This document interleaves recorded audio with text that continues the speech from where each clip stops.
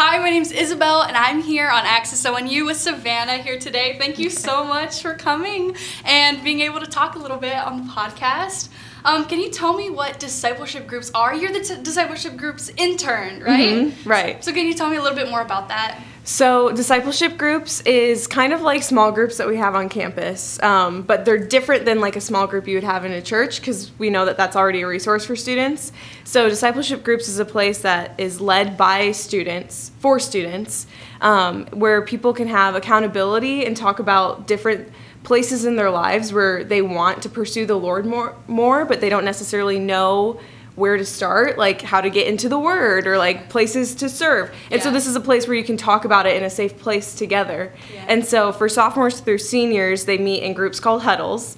And then for freshmen, they have their own group called Belong. And then eventually that gets them into a huddle down the road. So it's community if you want it from freshman to senior year. Yeah, so Yeah. what has your role looked like as the discipleship group intern?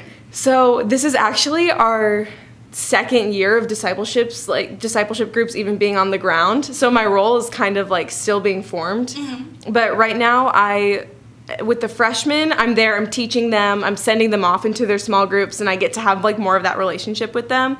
And then for huddles, I get to lead the leaders. So I sit in on meetings with them and just like check in on how they're doing and make sure that they have all the resources that they need to run their group. But for the most part, they kind of take the lead on it. I just make sure that I can like cheerlead them on wherever they need me to. So. Yeah, so what's your favorite part about discipleship groups?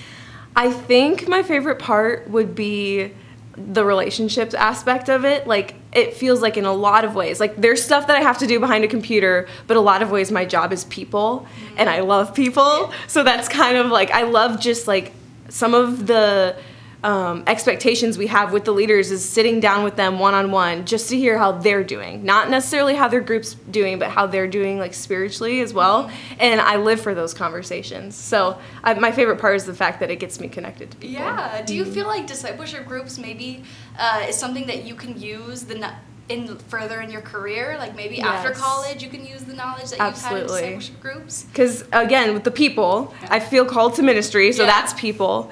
And I feel really blessed in this season of life where a lot of stuff is preparation. Like I'm still figuring out what I'm going to do with th- this calling that the Lord's placed in my life. Mm-hmm. But I know the passions and the gifts that He's put inside me, and He's given me an opportunity to live those out now mm-hmm. In discipleship groups. And so, and you're right, like I am learning so much that I know I'm going to take down the road. So I'm really excited about that. Yeah, that's amazing. All the, the work that you're able to do for discipleship groups. I know that everyone really appreciates and talks about how how you're able to be personal with people and have great conversations, and they really really enjoy your personality in that way. Thank so that's you. really amazing. um, what is some of the best advice that you've ever gotten in your life? Whoa, okay, just like life. Yeah. Um Okay, my dad, he gives me a lot of good advice. And sometimes when I get really freaked out about um, things aren't happening at the speed I want them to, especially in places where I work, which is all, like we said, people oriented, he said, Savannah, the Lord and life moves at the speed of relationship.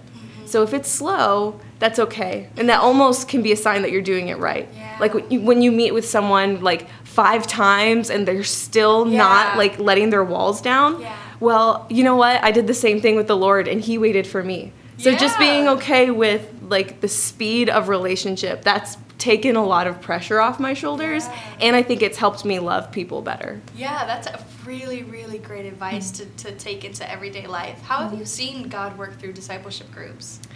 I have seen so because we're so new, Mm-hmm. we're not quite sure what we're trying to fit needs. Yeah. And so our, a lot of our prayer is, okay, Lord, show us Yeah. needs that people need, and we'll fill the need. Just show us where where we need to step in for people. And I've seen Him place people in our path that need discipleship groups, and a lot of them in different capacities. But He's shown me that He's not He's not going to let people on campus who are craving Him not get Him. Mm-hmm. And so, for in some ways, it feels kind of just like it has to be it's like a god thing like Yeah. there's no other way i would have interacted with this person except for that the lord in, crossed our paths Yeah. to get them in discipleship groups which has filled a desire or a prayer that they prayed a couple weeks ago about community and then we just so happen to have a conversation like that sort of thing so that he doesn't let when people on this campus are praying like Mm-hmm. lord i want to draw closer to you show me how he doesn't let those prayers go unanswered Yes, Yeah. that is so good. So, where can students who are interested in discipleship Mm-hmm. groups, where can they find more information, or even who could they email for Mm-hmm. more information if they're interested in discipleship groups? they can email me, Savannah White. Um, there's they can also, if they're comfortable, reaching out to Tone as well. Um, there's the Spiritual Life Instagram page that could get them to all the links that they Yeah. need to be at.